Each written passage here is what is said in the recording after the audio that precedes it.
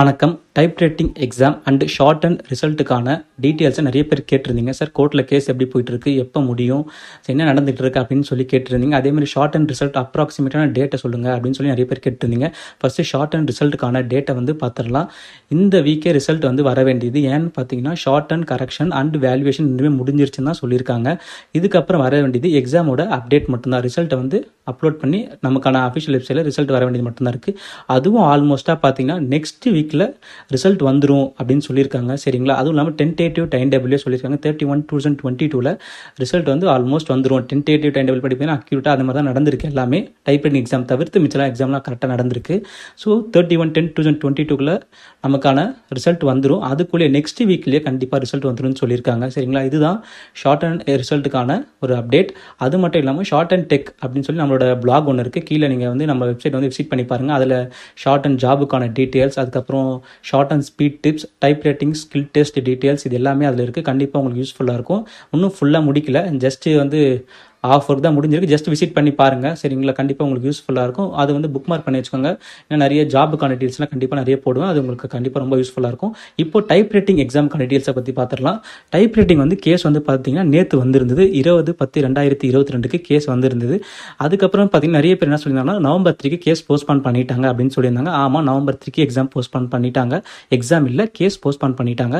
ஆனால் என்னென்னு பார்த்தீங்கன்னா நமக்கு ஒரு எமர்ஜென்சி எமர்ஜென்சியாக நமக்கு வந்து சீக்கிரமாக கேஸ் முடியணும் அப்படின்னா சீக்கிரமாக அந்த கேஸ் ஹியரிங் வரணும்னு சொன்னால் நம்ம வந்து நம்ம வந்து ஜட்ஜஸ் கிட்ட கேட்கலாம் இந்த மாதிரி நாளைக்கே கேஸ் வரணும்னு சொல்லி. அதே மாதிரி நேற்று கேட்டிருக்காங்க சரிங்களா? இருபது பத்து இரண்டாயிரத்தி இருபத்தி ரெண்டில் வந்த கேஸ் வந்து நவம்பர் த்ரீக்கு வந்து அட்ஜாயின் பண்ணியிருந்தாங்க.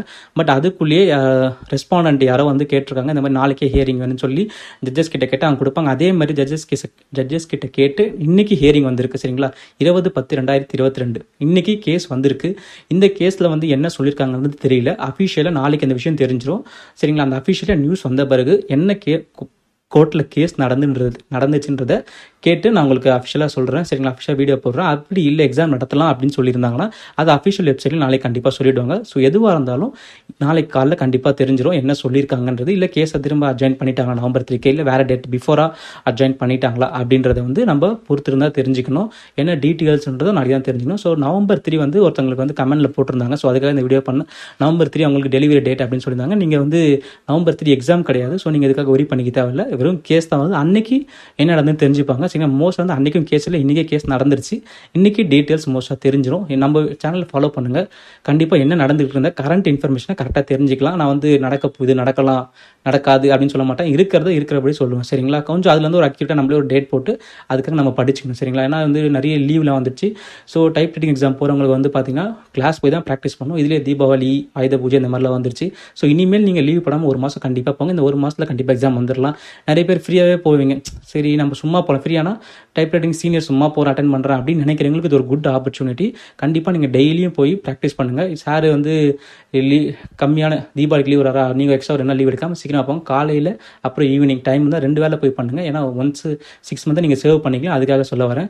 ஸோ இது மாதிரி நீங்கள் விஷயங்கள் தெரிஞ்சுக்கணும். நம்ம சேனலை சப்ஸ்கிரைப் பண்ணிக்கோங்க. வீடியோ பிடிச்சா மறக்காமல் லைக் பண்ணிக்கோங்க.